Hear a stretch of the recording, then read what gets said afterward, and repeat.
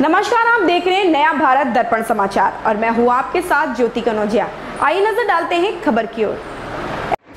Higher secondary school Chilhari में भवन न होने से बच्चों को करना पड़ता है परेशानियों का सामना। उमरिया ज़िले में लगभग अभी तक ऐसे कई हायर सेकेंडरी स्कूल ऐसी हैं जहाँ भवन नहीं है, जिसकी वजह से हाई स्कूलों में कक्षाएँ लगानी पड़ रही हैं।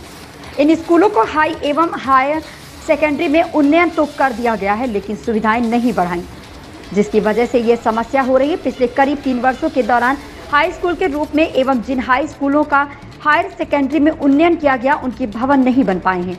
मानपुर जनपद अंतर्गत ग्राम पंचायत चिल्हारी में तीन साल उन्नयन के बाद भी हायर सेकेंडरी के लिए नहीं बन सका भवन, शिक्षा विभाग कर रहा है लापरवाही।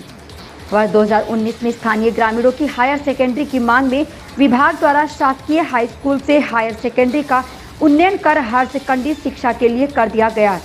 जहाँ उन्नयन के बाद बच्चों को उच्च शिक्षा के लिए दूर दराज स्कूलों में नहीं भटकने की परेशानी बच्चों की नई आशा दिखाई दी। लेकिन आश्चर्य के बाद विभाग न तो हायर सेकेंडरी भवन का निर्माण कराया गया और न ही उनके लिए स्वीकृत राशि कराई गई। शासकीय हाई स्कूल एवं हायर सेकेंडरी विद्यालय में लगभग 300 बच्चे अध्ययनरत हैं। भवन होने से बच्चों को काफ़ी परेशानियों का सामना भी करना पड़ता है। जंगल से लगा ये कि विद्यालय भवन के साथ साथ बाउंड्री भी न होने से जंगली जानवरों का खतरा भी बना रहता है।